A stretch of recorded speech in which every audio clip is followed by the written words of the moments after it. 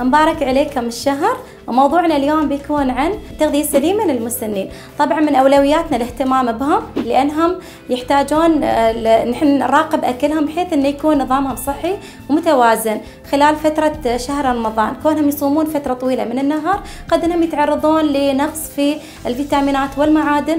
وما ننسى قد يكون عندهم بعد أمراض مزمنة كالسكري والضغط. كون نحن على فطور نخليهم يشربون كمية كافية من السوائل ونحاول شوية نقلل من كمية المنبهات عشان نجنبهم الجفاف برمضان ونركزون على خاصة الماء والفواكه الطازجة والخضروات بها ألياف جيدة جدا لهم.